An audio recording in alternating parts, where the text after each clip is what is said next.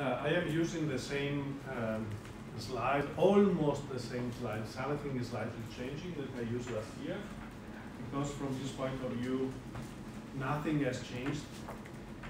And the first thing is uh, um, uh, modeling by components.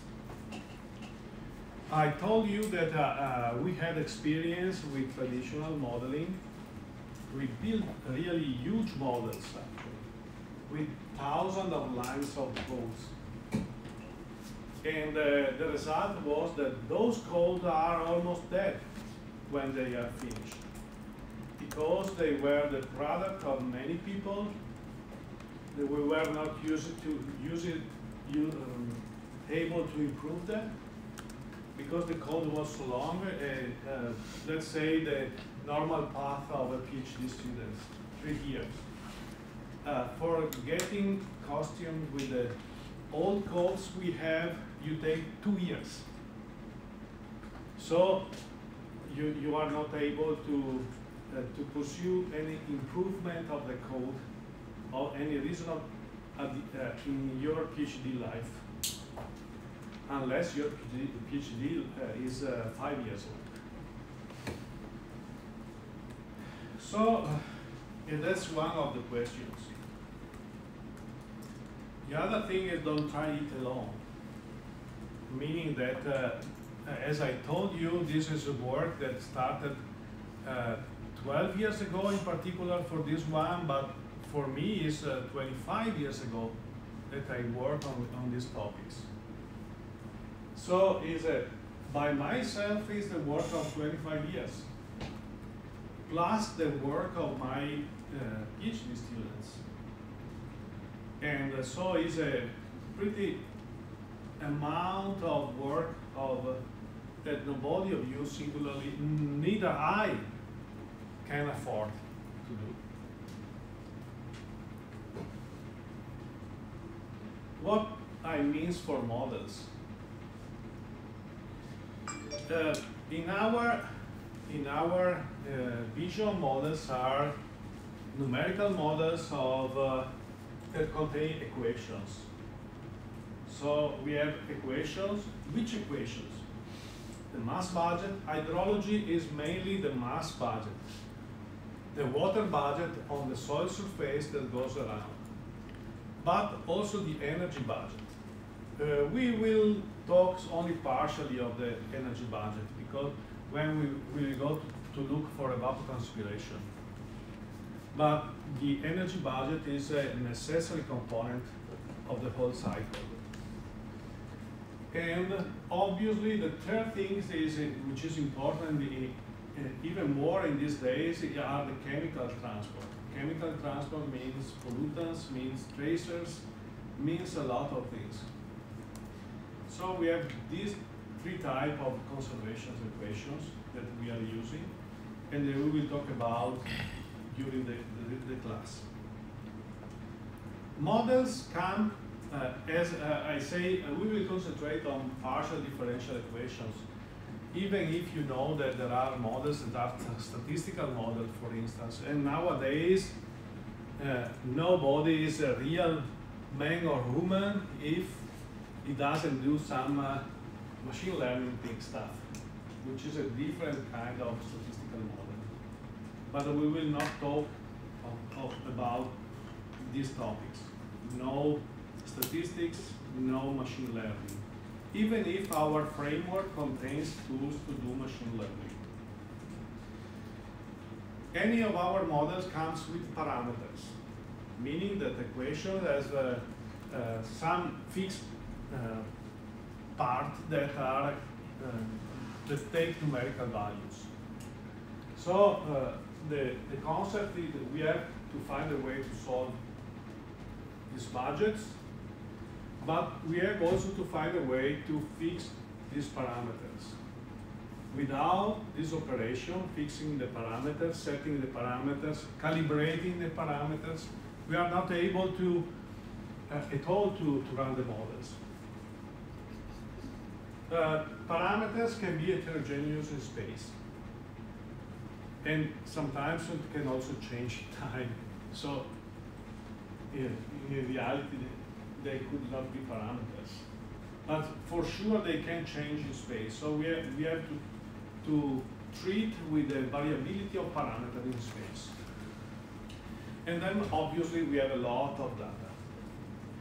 Data which are uh, usual, usually unusable in models. If you don't have vegetation model, why you uh, write an introduction in one of your paper talking about vegetation? And for talking about vegetation, you have to have data about vegetation. And we have plenty of data about vegetation now, from satellites, for instance. We have plenty of data uh, from, from remote sensing in general. We have less data from other traditional um, measurement type gauge, like uh, um, rain gauge, and uh, above all, um, discharge gauges. But we have a, a, a, we need a way to treat the data. Data is part of the problem. So I told you that usually we did a model, we start programming the, our code, maybe doing some plan before uh, how we want to code. Well, we have this process, this other process, many processes together. We start to write our, our codes in traditional language like C or Fortran or C++ or etc. But all the code connected together. When, when a developer takes five years to develop such code and write thousands of lines of code, then you have to give, or at least for me, I have to give to the next PhD student. Next PhD student has a two-way, reading these thousand line of codes, entering the mind of the, his pre previous fellow. In the previous fellow, in the meantime, uh, went to Antarctica, to the, or uh, in many places of the world, working, is not anymore available to know what the hell is was thinking, she was thinking when was doing that thing. And so the code is practical. You can use maybe the code because you know how to use it, but it's very difficult to change. This is a bad thing for science because uh, if nowadays we do science through models, uh, uh, this, this type of science internally is not anymore uh, verifiable. We cannot check, if, especially if something goes wrong. It's a bad thing for progress. We cannot build on the, on the shoulders of each other. So the idea is to separate the, the, this big code in chunks of code, separated, isolated, informatically isolated. Usually this is an attitude, it's not just a, a, way to uh, build in informatics. An attitude to separate your problem in various parts that you can connect it inside also a monolithic code. But uh, in what we learn here in our system, the chunks of code are built in in the informatics meaning that you build chunks and then you connect the chunks at the end through a scripting language, which is another level of programming, but usually simpler. So you have to, for having a thing like this, you have your components. You see, it's, uh, it's uh, paint like a Lego because you can plug what is clearly specified is the input and the output. And knowing just the input and the output, you can work with it. We already said, in the traditional code, third-party revision of the code is very difficult. Sometimes uh, happens, but usually is very difficult. Model falsification is impossible quite impossible. And most of the time, also, you don't have the code to do this operation of falsification. You don't know if your colleague is, is, is, is cheating, essentially. You can argue externally but you cannot falsify really the model. And so, this is what I already said several times. When something goes wrong, you don't know what is, where it is wrong, why it is wrong. You can work, do some workaround, but you don't know. So the idea is uh, when you're using components, as I told you before, is to um, go in the spirit of Galileo, saying that you have to do experiment with your, your code. You, you need to be able to analyze each part of the code, doing experiment and know if they work, if they work. But this is not enough, in my view, in our view. We developed our code to be open source, so someone with the appropriate knowledge can inspect the internals of the code and see if we did something wrong. So and we try that in the way that informatics helps structurally the, the revision, not just as a, a, a, thing that you uh, that you use later. Or having chunks of code is also uh, makes the code easy to maintain, easier to maintain, because you have to maintain separately the single chunks when you know that they work together. And so you can concentrate on a single part. From the point of view of a PhD student, as most of you are, is also good for you because when you have a big code, you don't know who is the owner, who is the, uh, the author of the code.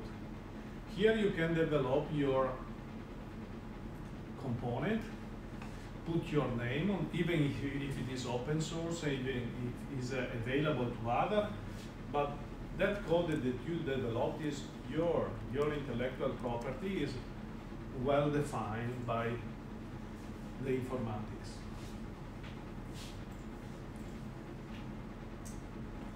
The other problem is we, we don't know what, what are the models you know which is our opinion on how we have to do models. The other is, but for who are you are doing model? And most sometimes for the PhD students, you, you are doing a model for yourself, for your own research, for the research of your uh, advisor, maybe a supervisor, or the, the one you are designing. But in reality, when you look a little bit longer, you are creating a model because there are uh, useful things to do. The first, obviously, is the one to understanding processes, which is most of, of the time the work I do. But there are some other role and users. Uh, for instance, you have, let's say the users. You have a researcher, most of you are researcher, uh, you have technical users, meaning that uh, uh, the researchers like me is more interesting, interesting to know how the process work, how, how to build a model maybe. So the more, and when, when I, sometimes I, uh, obviously I am joking, but I say, okay, when I have built a model, my work is finished. I don't run my model. I build my car. I build my Mercedes or Ferrari, but someone else drive the Ferrari. This is the technical user. Technical user usually don't code the core code, the core of the model, but use the model for doing forecasting, for instance. then we have other end users. How, who, are other end users? Uh, but technical users actually are uh, different are the technical users they do for doing professional work, and they are those working in an institution. Are, uh, and their goals are actually not the same. But uh, other end users are politicians, for instance, policymakers. So you want to do model because some policymaker has to prioritize policies in, in, a, in a certain uh, hydrological area. So models are used, can be used for that. Okay, sometimes uh, po uh, the policies are done just on intuitions maybe, but intuition fails more than models. And then there are uh, other users like prime user people that uh, like you and me when we go on Facebook or uh, I don't know LinkedIn, we look at the work of the other and just uh, we are uh, we get some pleasure to see that someone is studying climate change, for instance, or flooding, and see the results, some of the results. And this is the other uh, type of prime users. And then you have you see different roles. They are the hard coders. In this context, uh, my group is in the group of hard coders. Soft coders, the one that uh, work around the code, but the code is already there. Set the parameters, calibrate the parameters, maybe. Do some scripting for connect all the pieces. In this case, we, there is a new figure, which is the linker, because we have components. There is someone that can link the components in different ways to obtain different model solutions. And uh, runners who run the code when you have all the setup ready, you can give to a monkey the, the, the, your model to run, and the, the monkey run the code with just few instructions. Just uh, push the push the button, do this one, do this one, essentially, and uh, without wanting to offend my younger students, some of these models that can be used in very sophisticated way can be used at a very low level of uh, educational, uh, very low level of education, potentially also to high school students. Viewers and provider. Viewers are uh, who, who looks at the models and provider who the one who provides services to us. So there are, when we built our code, we have in mind, we had in mind all these kind of figures. And doing the model by components was useful to us to, uh, to put together all these things.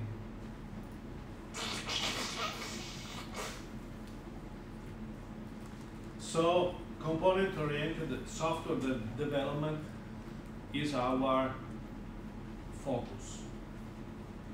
Uh, the focus is uh, also, if you want, uh, in the modern programming um, framework, you you want to not not to do much code. You want to reuse code. So that's the other things behind this. We don't create one. Once one, some code works, you use it. You don't rewrite it, even if it can be interesting for you to know to rewrite some code to learn something because in, in doing you learn. But most of the time, if you have to, if you have any time when you go home, you have to build your your kitchen before to cook, you you are going to be dead. The same is valid for models.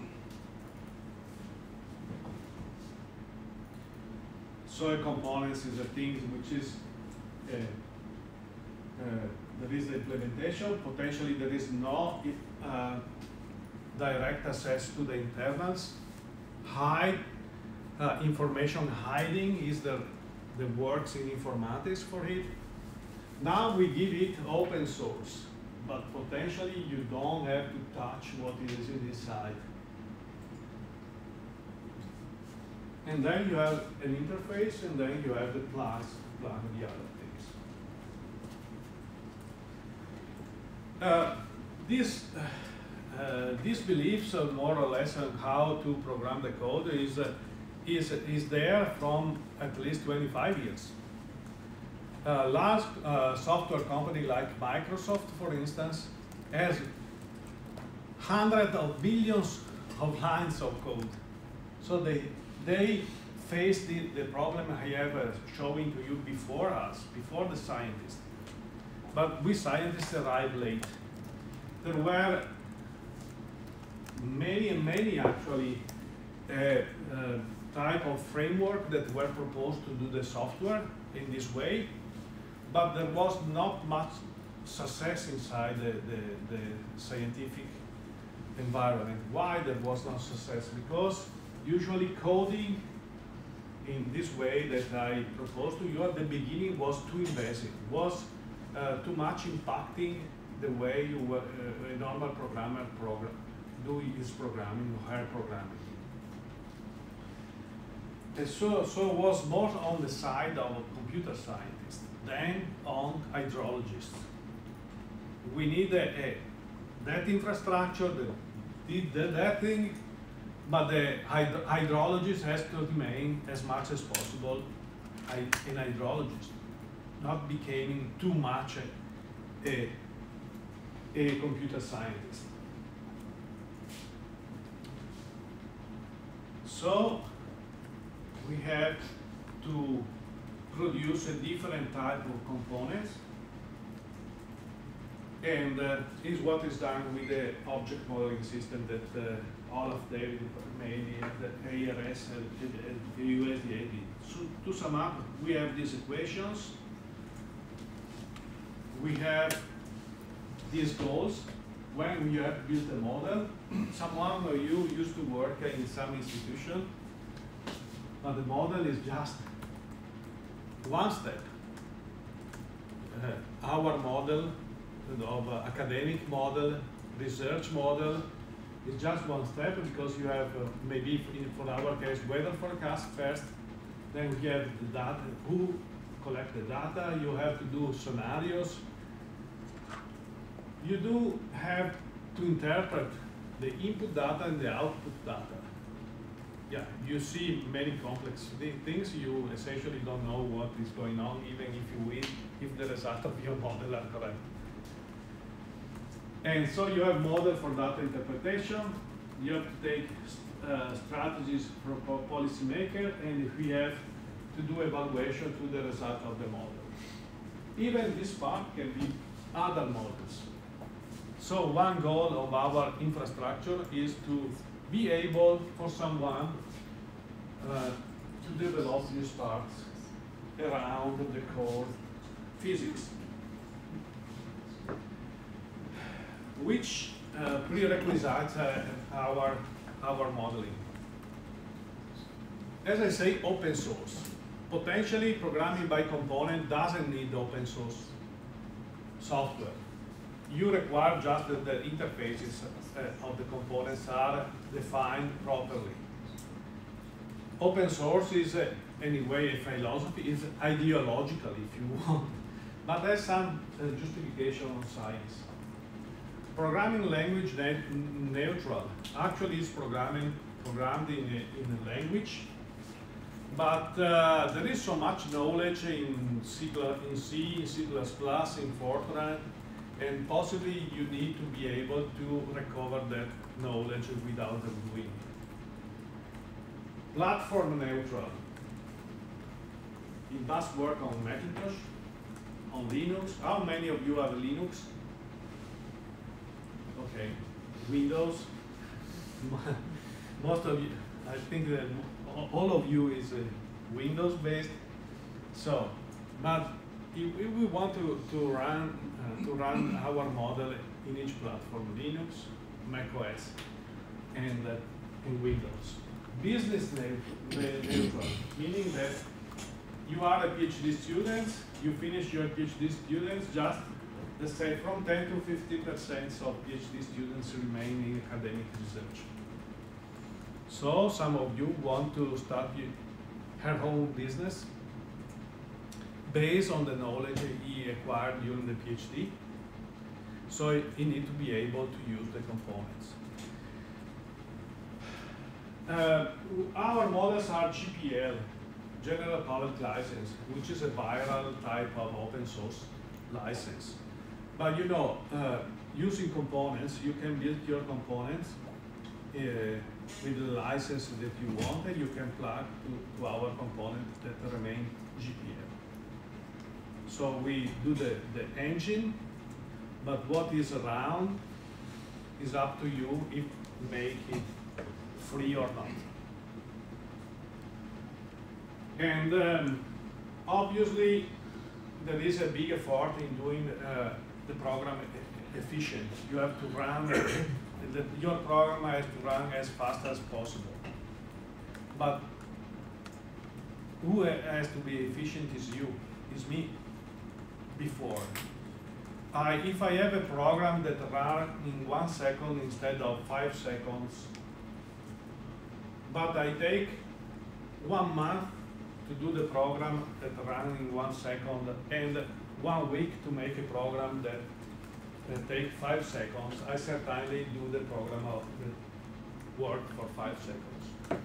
So your pro productivity, 95% of the time comes before the productivity of the computer.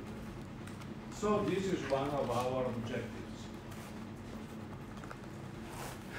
Obviously, we work in, on, on in the web. So our infrastructure has to be web connected. We are, need to be able to, potentially at least, to uh, deploy our technology to the web, to the web.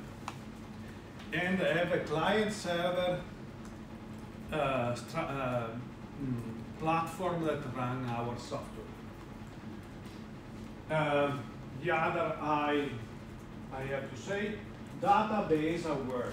Hydrologists usually do not work with databases, but is absolutely essential when you go on operational, um, uh, when you have an operational horizon. You have to manage a database like uh, an SQL the database, and then you have to be able to, to use it. Most of it must be, the thing you do have to be standard. If you do, um if you make uh, some uh, peculiar choices, uh, yeah, then you have a narrow, a narrow range of people that uh, will be using it. So as master, as uh, OGC is Open uh, Geospace Consortium, CUAHSI is the in CUAHSI is the consortium of university for the, the development of hydrological sciences. So the standard promoted by the community bar must be uh, included in the software. The other thing is uh, our computers are multi-core computers. So the first thing is that uh, your, the software has to use your multi-core computers. But we don't want, we want you to remain hydrologists, not to become informatics, not to take care of the, of the uh, technologies that changes during the year about parallelization of your code. So yes, you in these times you have to take care of how to parallelize code. But if the system does it transparently for you, is better. And this was our system actually does. Documentation is an issue. It is an issue that, uh, but uh, uh, certainly uh, programming with uh, components make it easier to inspect the code, but also to document the code and keep the, the, the, the things uh, together. Uh, you have to, in the programming, you have to comply to, to some standards to name the variables and et cetera, et cetera. The software has to be in a control version system. Now, uh, the there are some, obviously, but uh, we use Git. And so, there is this paradox that was like uh, um, brought to my mind to some of collaborators, which is uh, open source software in one computer. Potentially my software is open source because I release with an open license, but it, is just on my computer and works on my computer. So the development of public repositories like Git is okay, and our software is there. And uh, having a standard way to expose documentation. So, uh, in what I was talking, was talking about models. More or less, I gave you an idea what I, uh, what I mean for models. What it is a model component, what it is an interface. A modeling framework, maybe I was not clear on what, what it is, but it's uh, the, the basic informatics, the underwear of the informatics that allow you to, to do your model in the, uh, in the way we, I, I try to define. And uh, for us is the object modeling system. And workflow is the, then the action that you have to take. One example that maybe at the end of the, of the day we will be able to do is uh, the, this example that was uh, brought to us by Scott Peckham, a colleague working in Colorado, in Boulder, in Colorado. And uh, say this is a simple tank. Uh, you have the, the, the water that comes into the tank, and then we have some hydraulics that describe how the tank is uh, deployed, uh, is uh, emptied. And we have, uh, we will do a simple tank model first. A simple, simple tank model is not uh, a model of, uh, of the catchment as complex as you see, but uh, as first simplification, we can use it today. So we will do this. Obviously, the other thing of a component is that you, you can exchange the components. Yeah, to put it together a model, you have to put together several components, but you can have three or four or five or ten components for doing the same thing.